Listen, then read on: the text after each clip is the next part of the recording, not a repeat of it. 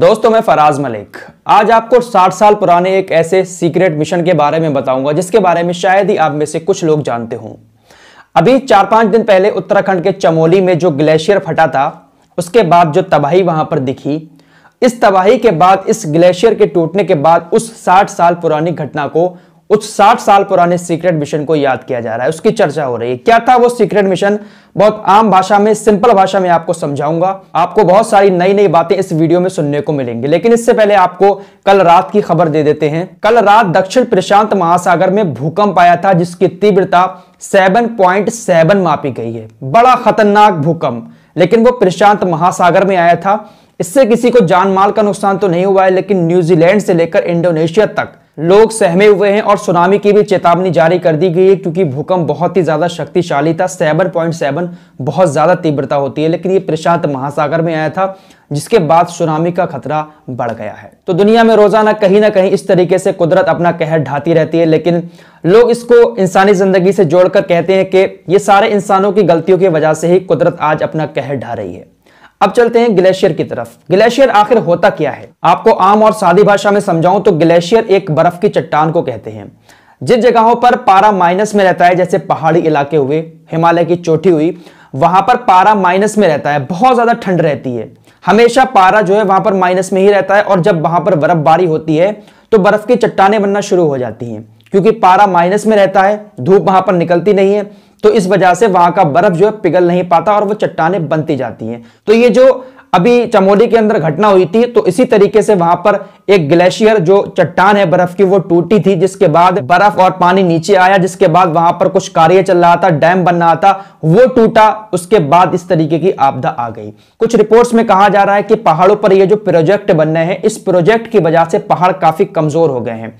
Power plant बनना है। बहुत सारे प्रोजेक्ट पहाड़ों पर इंसान बना रहा है तो इसी वजह से पहाड़ कमज़ोर हो रहे हैं और पहाड़ फिर टूट रहे हैं। बहुत सारी बातें की जा रही हैं। लेकिन आपको अब उस सीक्रेट मिशन के बारे में बताते हैं जो आज से तकरीबन 60 साल पहले हुआ था। सन 1964 में अमेरिका की खुफिया एजेंसी ने भारत की खुफिया एजेंसियों के साथ मिलकर ज़मीन से 7,800 मीटर ऊपर नंदा देवी पर्वत पर एक मिशन शुरू किया था। सीक्रेट मिशन था। इस खुफिया मिशन का मकसद नंदा देवी पहाड़ी पर एक खुफिया डिवाइस लगाना था, जिस डिवाइस से चाइना पर नज़र रखी जा सके। चाइना पहले भी अच्छी खासी बदमाशी करता रहा है।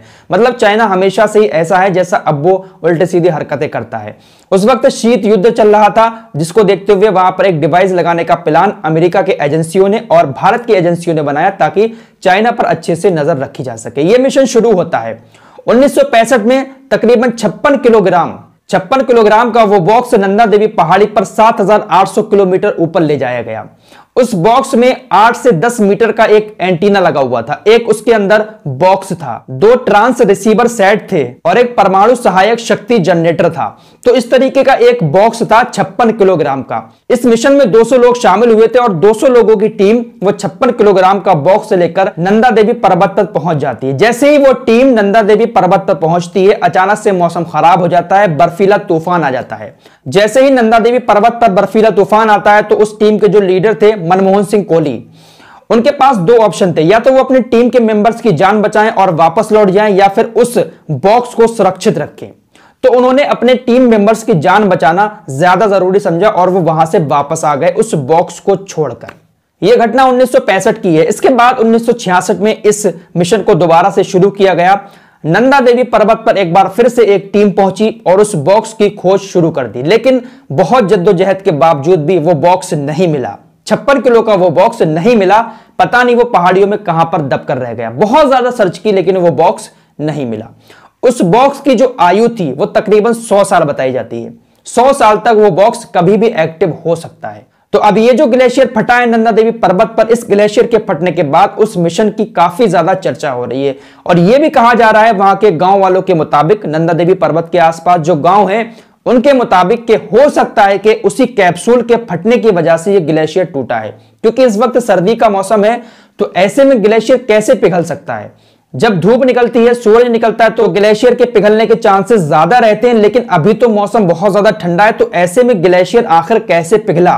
तो कुछ रिपोर्ट्स में और कुछ वहाँ के गाँव वालों के मुताबिक यह कहा जा रहा है कि ये उसी का धमाका था, जो कैप्सूल वहाँ पर गुम हो गया था 60 साल पहले, क्योंकि उसकी उम्र तकरीबन 100 साल है। 100 साल तक वो कभी भी एक्टिव हो सकता है। तो वहाँ के कुछ गाँव वालों का यह भी कहना है कि उसी कैप्सूल की फटने की वजह से ये ग्लेशियर टूटा है, जिसके बाद इतनी भारी तबाही आई है। क्योंकि 2013 में जब केदारनाथ में ग्लेशियर टूटा था तो इतनी भारी तबाही नहीं आई थी। नॉर्मल सा पानी आया था, लेकिन अब बहुत सारी बातें चल रही हैं। कुछ लोग कह रहे थे कि अजीब सी स्मेल आ रही थी, वो जो धुआँ आ रहा था, मलबा आ रहा था और धुआँ भी निकला। बहुत सारी बातें चल रही हैं तो हो सकता है कि भाई उसी कैप्सूल के फटने की वजह से ग्लेशियर टूटा हो, लेकिन अभी तक कोई पुख्ता सबूत नहीं मिले हैं। टीमें रिसर्च कर रही हैं और ग्लेशियर टूटने की वजह जानने की कोशिश कर रही हैं, लेकिन बहुत सारे लोग इसको इंसानी ज़िंदगी से भी जोड़कर देख रहे हैं कि इंसान खुद जिम्मेदार है इस चीज़ का। तो उम्मीद करता हूँ कि जो मैंने आपको बताया है, वो आपने शायद पहले कभी नहीं सुना होगा। आपको अगर वीडियो पसंद आया है तो आप वीडियो को लाइक करें और चैनल को सब्सक्राइब भी करें। मिलते हैं एक और नए वीडियो के साथ, तब तक के लिए जय हिंद, जय भारत।